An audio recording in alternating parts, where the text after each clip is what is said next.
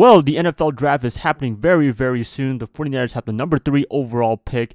Who would have thought that would happen? I'm still shocked to this day from a few days ago about this news, and I probably will still be shocked until they pick that somebody with the number three overall pick. It is going to be exciting. There is a lot of intrigue on what the 49ers want to do in terms of a quarterback. What if they just swerve everybody and don't even pick a quarterback? What if they pick like Kyle Pitts? That would be interesting right there. But I think we all know they're drafting the quarterback. They're trying to look for the long term future. Kyle Shanahan and company. Jimmy G is probably not their answer from all the injuries and everything like that. I think that's what it really comes down to. Maybe I can make a separate video about that. But in this one, I want to talk about my man, my personal favorite, Trey Lance, why they should pick him number three overall. And he could be the real draft pick for them. I don't know yet. They might be thinking Justin Fields, Mac Jones, maybe Zach Wilson if he's there, but I'm just going to be assuming that the Jets do take him. Lance, I think he has everything that you need to be a successful quarterback in the NFL, and especially in Kyle Shanahan's system. That is just a marriage to be happening in a great way. I'm excited for this, and yeah, let's just get this video started. But before I do, as always, please like and subscribe. That's going to definitely help me out a lot.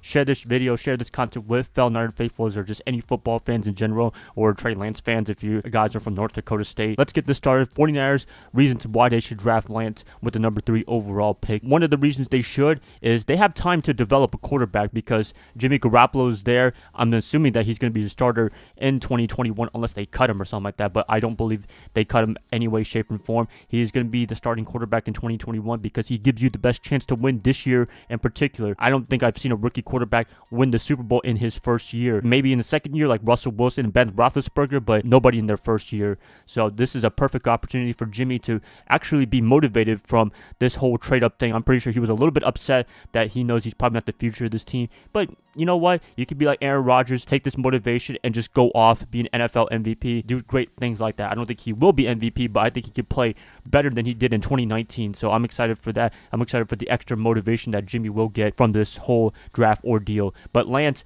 being able to sit, learn under Jimmy Garoppolo, learn under Kyle Shanahan, learn under the system, and just learn. That's all you can really do. I mean, this could be a really similar situation as you all know in Kansas City. Our man Alex Smith training Patrick Mahomes for a year or two, and then Mahomes took over and they won the Super Bowl a few years later. That could be something that the 49ers could be looking forward to very soon. But the difference is Jimmy Garoppolo could lead this team to the Super Bowl win, and then a couple years later, Lance could lead this team to another Super Bowl win if he does come to the 49ers. That is just awesome, optimistic things. I know I'm getting a little too positive, but at the same time, I love to talk about more positivity than negativity, and I think this would be a perfect scenario, and this would be a big reason why they would even trade up to get to the number three overall pick, because maybe Atlanta's thinking about them, Carolina might be thinking about him, so San Francisco wouldn't take the chance, and they'll just draft him number three overall and not have to worry about it at all. Another reason they should draft him with number three overall pick is the system of offense he ran at North Dakota State. It's very similar to Kyle Shanahan. I can't really explain it exactly. I'm not the football expert guy. West Coast offense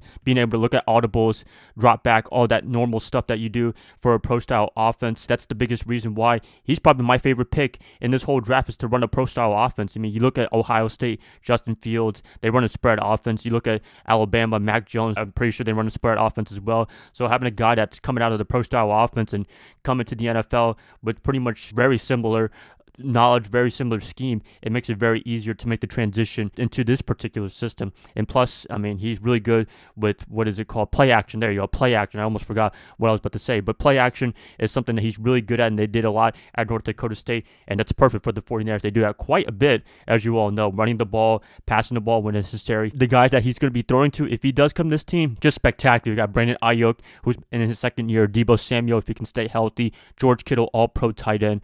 A lot of targets to go to if he does come in a couple years. A lot of optimism for me for Lance if he does come to this offense, and it'll be a very similar offense that he did run in North Dakota State. So that's an extra advantage for him over the other quarterback that they might be thinking of drafting this year. Number one for me, there's not really a number one, but the last reason why I would draft him is just his size. I know size isn't everything. I mean, you look at other guys like Russell Wilson, Kyler Murray, Drew Brees. They have a lot of success being short guys, I guess you want to call. Lance, he has the perfect size, 6'4", 227 pounds, very smart, intelligent guy, a recipe for success right there. And you know what? I shouldn't be making too much of this, but I think having size is an important thing, especially if you have to take a pounding, which you do in the NFL. If you can take care of your body and not take the unnecessary hits like Cam and Ben would do, then I think you'll be fine to be able to have that height, to be able to have that size, to look at receivers, throw to receivers, to take a pounding if you have to take a pounding once in a while. That's a really good trait right there. The biggest reason why I would draft him is the second reason running a pro style offense, going to the NFL,